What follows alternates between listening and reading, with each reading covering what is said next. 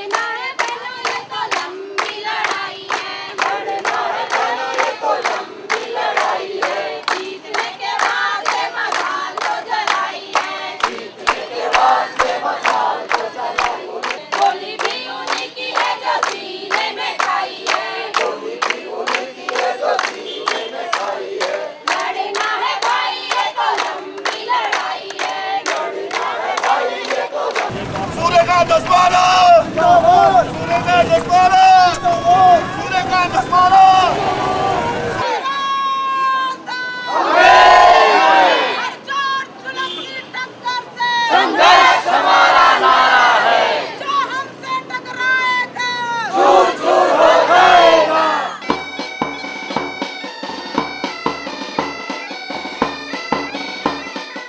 मैं श्री सूर्यकांत दसवाना जी के लिए शेर पढ़ना चाहूँगा कि धमक कहीं हो।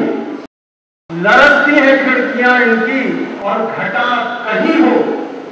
बरसता है साहेबान इनका तो दूसरों के दर्द को, दूसरों की तकलीफों को इस प्रदेश के अंदर समझकर जुझारू नेता के रूप में हमारी खुशकिस्मती है कि आज हमारे पास सूर्यकांत दसवाना जी एक ऐसा हीरा है। और मैं शुरू में आपको एक विश्वास दिला दूँ जो भरोसा हमारे ऊपर व्यक्त किया है, हम अपनी जान दे देंगे लेकिन उस विश्वास को कभी टूटने नहीं देंगे मान्य दसवाना जी। जिंदाबाद जिंदाबाद। राजकीय वाहन चालक महासंघ। जिंदाबाद जिंदाबाद जो हमसे टकराएगा झूठ झूठ हो जाएगा मान्य श्री दसवाना जी जिंदाबाद जिंदाबाद जो जुल्म की टक्कर में आवाज़ दो आवाज़ दो आवाज़ दो शिक्षक नेता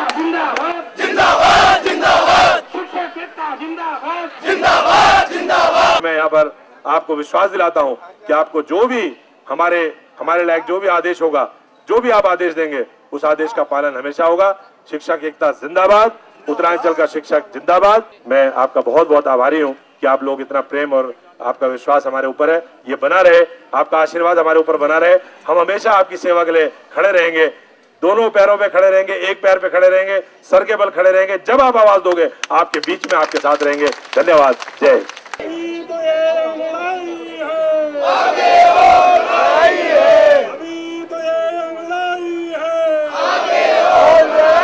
ये दीवाने कहाँ चले? ये दीवाने कहाँ चले? ये दीवाने कहाँ चले? जिंदाबाद जिंदाबाद जिंदाबाद। मैं उनको का भी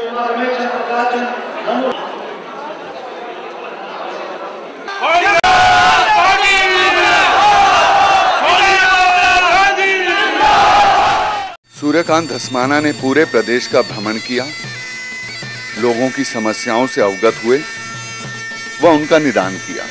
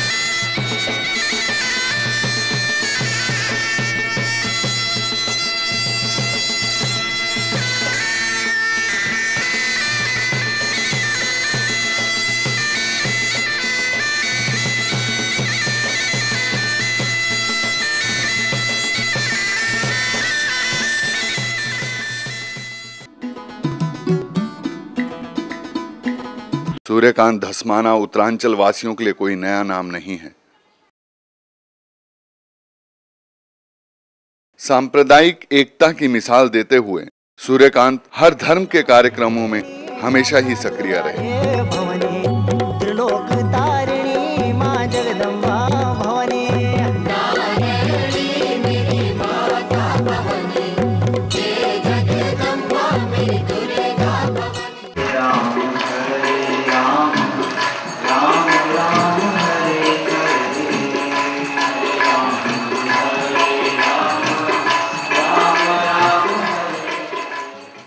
महाराज जी, ये सारे जितनी माताएँ आई हैं, बहनें आए हैं, बुज़ुर्ग आए हैं, ये तो धन्य हो ही गए।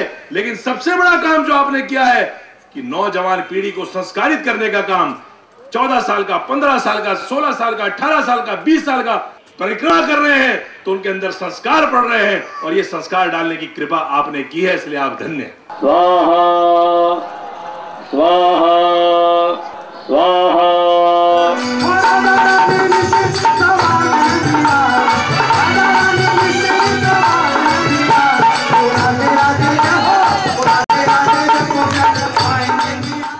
राज्य में रह रहे सात लाख आबादी वाले गोरखा समुदाय को अन्य पिछड़ा वर्ग में शामिल कर उन्हें आरक्षण की परिधि में लाने का ऐतिहासिक कार्य किया।